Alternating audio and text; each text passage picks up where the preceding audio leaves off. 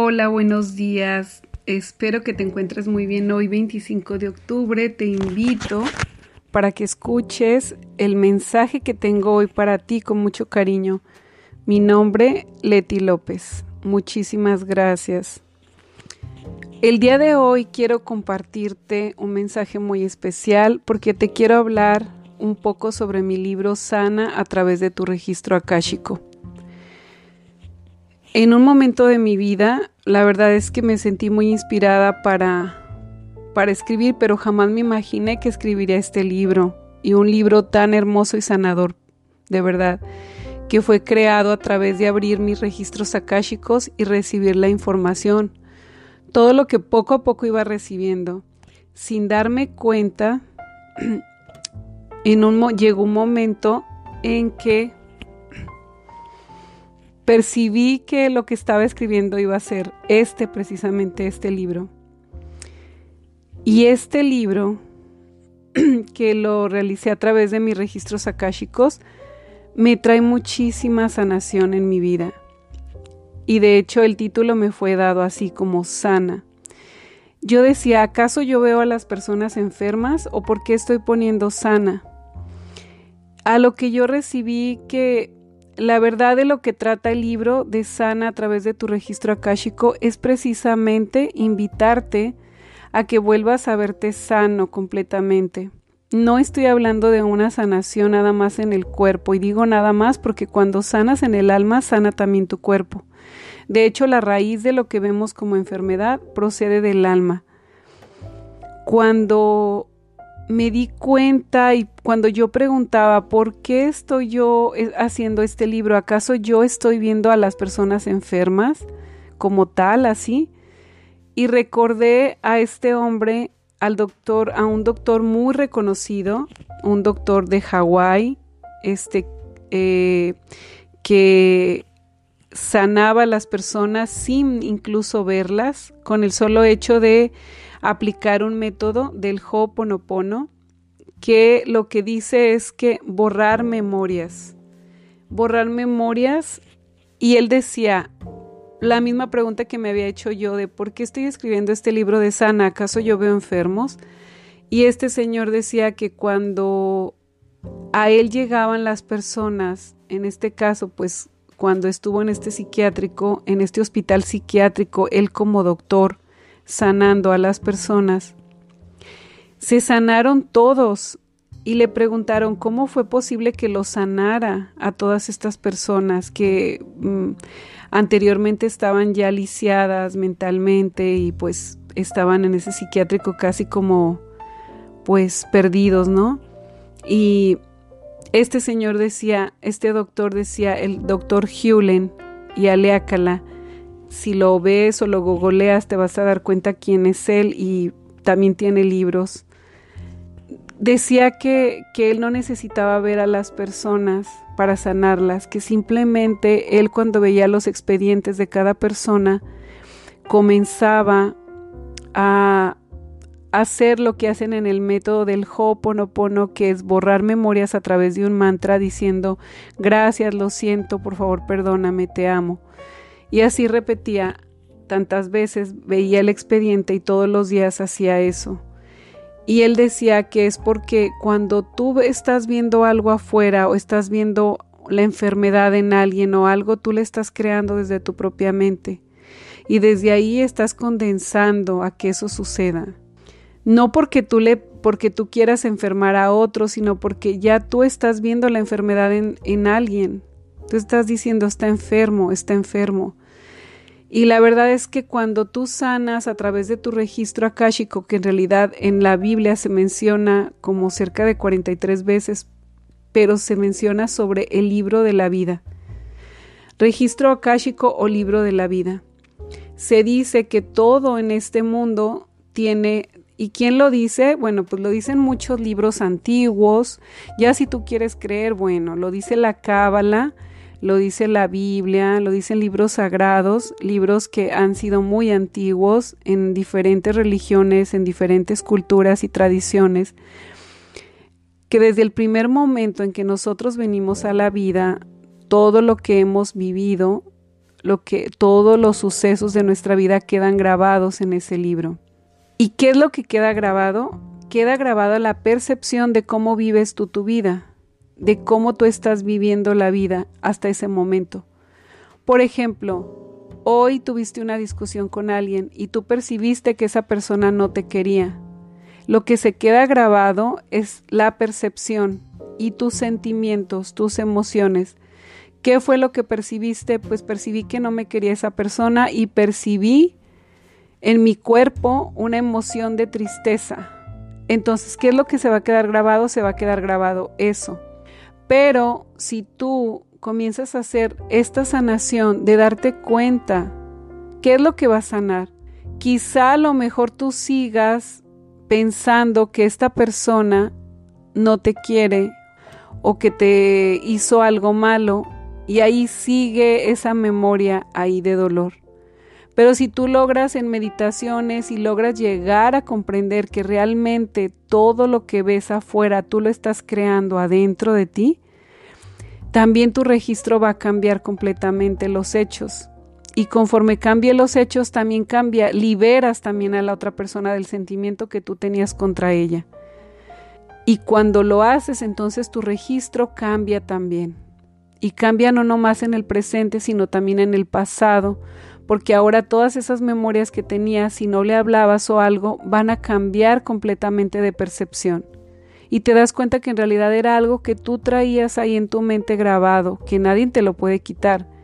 Tú puedes decir tantas veces quieras, esta persona no me quiera, aunque la persona te diga mil veces que te quiere y si no te llega ese querer a ti, pues de nada va a valer que la otra persona te lo diga. Al final de cuentas nosotros tenemos la decisión de tomar eh, el cómo percibimos la vida, cómo la percibimos nosotros. Dos personas pueden estar viviendo el mismo suceso y percibirlo de, de diferente manera. Entonces yo preguntaba, ¿se cambia? ¿El registro cambia? Claro que sí cambia. Entre más te, te vas acercando al amor, a vivir en ese amor divino de Dios, más vas cambiando las memorias de dolor o negativas en tu vida las que veías como malas. Y la enfermedad la comienzas a ver no como algo malo o defectuoso, lo comienzas a ver como una lección de vida, como un maestro de vida. Y te das cuenta que incluso eso que tú llamas enfermedad es perfecto. Perfecto porque te lleva a una evolución amorosa que tú no habrías alcanzado si no la tuvieras. Y yo sé que esto que digo es muy fuerte, sobre todo las personas que están padeciendo con dolor su enfermedad. Pero cuando lo vives desde aquí, tu vida cambia completamente. Y eso fue lo que han vivido diferentes personas. Ahorita recuerdo otra escritora, este, que fue una de mis favoritas, Lois High, que me ha enseñado muchísimo. Y ella, ella, este, ah, tuvo cáncer y ella se dio cuenta de que esta enfermedad venía a enseñarle que ella lo llama informedad en vez de enfermedad, porque te viene a informar sobre algo que tú no has hecho en tu vida. Quizá ni cuenta te hayas dado que no, que tenías demasiados sentimientos de culpa o demasiados juicios contra alguien o contra algo en tu vida, demasiado rencor en tu corazón y que tenían que sanar todas esas cosas. Quizá el cáncer ni se vaya de tu vida, pero el rencor, el odio, el coraje sí se va a ir. Y vas a quedar completamente viendo la vida de otra manera. Entonces, de lo que habla el libro de sanar es sanar desde la raíz, sanar desde tu alma y poder percibirte completamente perfecto. Y completamente aceptando la voluntad de Dios. ¿Cuántas veces no he conocido personas que niegan lo que tienen, viven en una negación completa de cómo están viviendo? Es una negación tan profunda por el dolor, pero también es una negación profunda de no aceptar que lo tienen. Y desde ahí, desde no aceptar, haz de cuenta que estás viviendo, pues como quien dice, tomándote tu propio veneno contra ti mismo. Entonces, la pregunta es, ¿Qué puedo hacer con esto que tengo?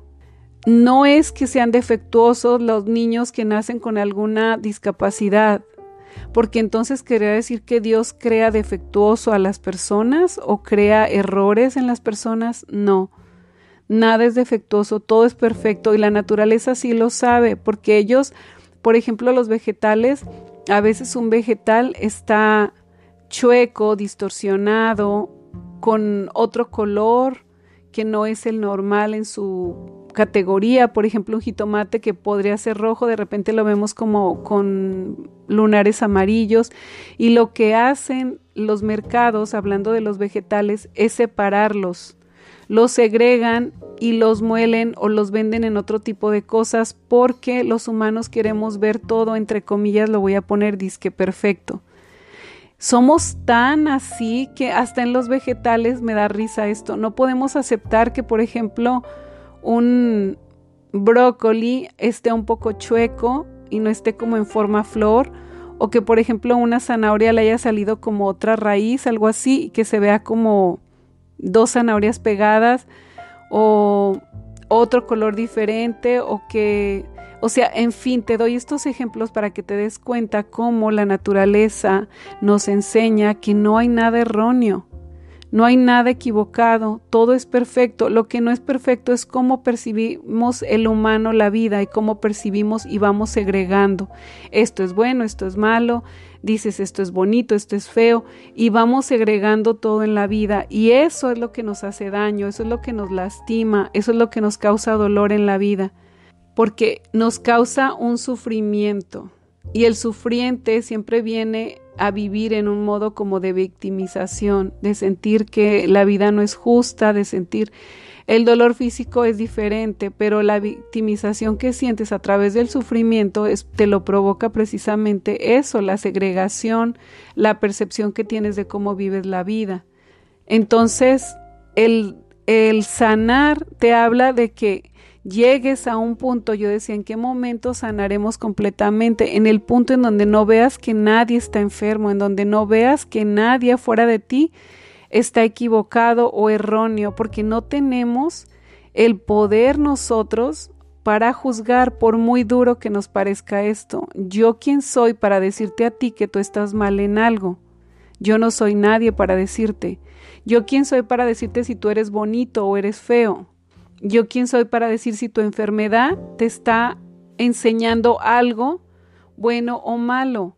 No, lo que sí te puedo decir es que Dios creó todo bueno y perfecto y lo que te está sucediendo es perfecto para tu evolución amorosa.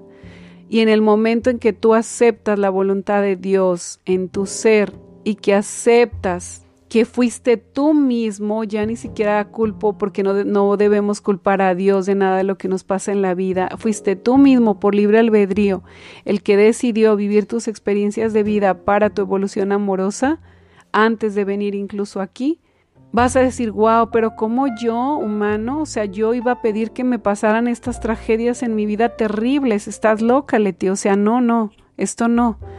Pues yo te digo una cosa, entonces ¿crees que el que está más loco sería alguien que nos creó? ¿Acaso crees que tú le podrías decir como padre a tu hijo, a ti te voy a dar esta enfermedad y a ti te voy a dar esta otra? Te pregunto, tú ya, si tienes hijos, me podrás contestar, ¿tú decidirías a cuál hijo darle una enfermedad y a cuál hijo darle otra?